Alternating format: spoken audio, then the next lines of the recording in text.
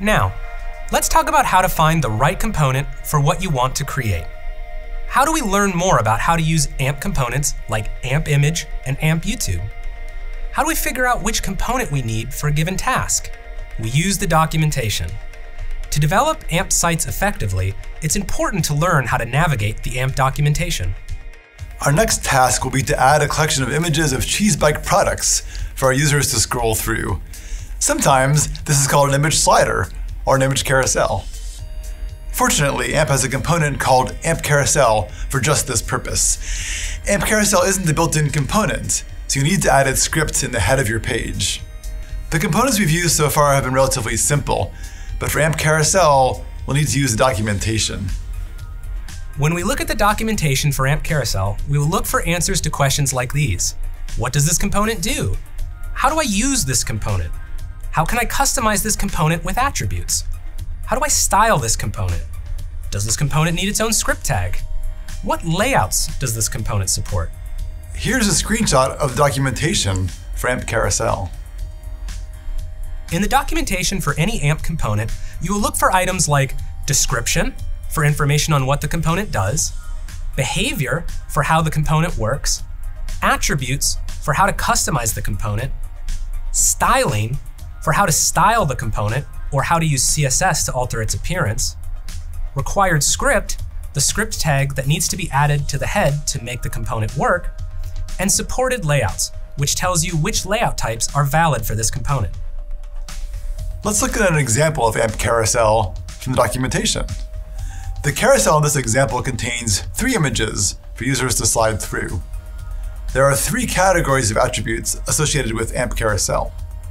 First of all, attributes that are common to all HTML elements, like ID. These probably won't get mentioned in the documentation as they're just part of HTML. Second, attributes that are common to all AMP components. For example, width, height, and layout. These may not get mentioned either.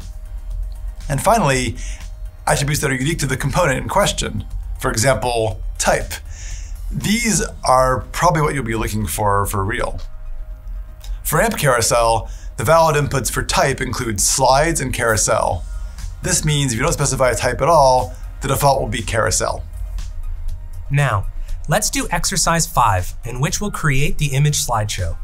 In this exercise, we'll add a carousel of images to our site, and we'll also get to practice using the AMP documentation. First, let's review how to use glitch assets. You'll recall that glitch keeps your images in a folder named assets. To view all the images in your project, click the Assets entry in the list of files on the left-hand side of the Glitch editor. To get the link to any single image, select that image from the list of assets on the right-hand side of your screen. Click the Copy button next to the URL in the pop-up that appears. This will give you the link to that image, and you can now use that same link anywhere you need to use that image. Now, let's make this carousel. We'll add it under the p class equals main text element, just above the YouTube video. Set the layout attribute of the carousel to responsive. Set the type attribute of the carousel to slides. And add three images to the carousel, cheddarchaser.jpg, cheese.jpg, and mouse.jpg. Make the carousel loop back to the beginning if a user tries to advance beyond the last slide.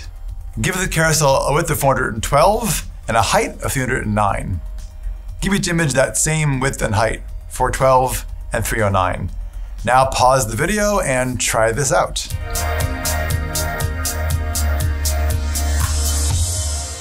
Your solution should look something like this. There's the AMP carousel, there's the width and height, the layout is responsive, the type is slides, and notice that we added a loop attribute. We found that in the documentation. Since AMP carousel is an extended component, we need to include the AMP carousel scripts in the head. This was also in the documentation.